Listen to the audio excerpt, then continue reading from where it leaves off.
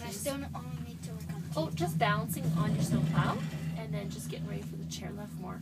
Oh, I just want to do the chair chairlift a few more times. So, Torin, See? Mm-hmm. does your head feel okay? All the falling you did on it? Uh, yeah?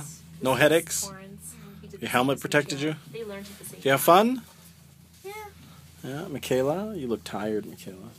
I have a headache, that's all. Oh yeah, because your helmet was squeezing. You know, I got Your some head, it Tylenol. was I too think I small. Got some Tylenol to go home. It was too small. Sayas, did you have fun today? need a helmet tomorrow. Yeah, we'll figure it out. Just stop eating. Briseis, stop eating the snow. Yuck. Did you have fun today, Briseis? Yeah, you look like it. Edison, Yeah. did you have fun? Yes. Was it exciting to be at the top of the mountain? Uh, half an hour, but I s- kept on bonking my head and stuff. Bonking your head. Yes. I saw you doing the falling. It looked really graceful. You were just like slowly spreading your legs and you go sit on your bum and it was okay. it didn't look that hard.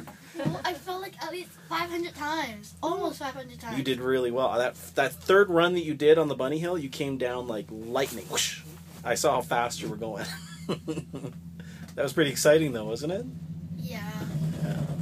Okay. But when I went fast, Mhm. it was like, it was like I couldn't control my feet. So Yeah. it's like I had to trip and stuff. Oh, okay. Well, you're doing well though. I was really proud of all the things you guys did today. Okay. Did you guys see the ski out?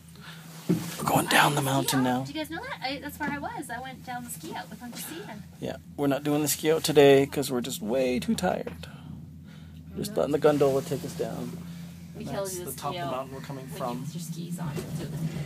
Okay. Or grandma. Maybe she'll feel up to it. And we'll post these later tonight. Do you want to do snowboarding again?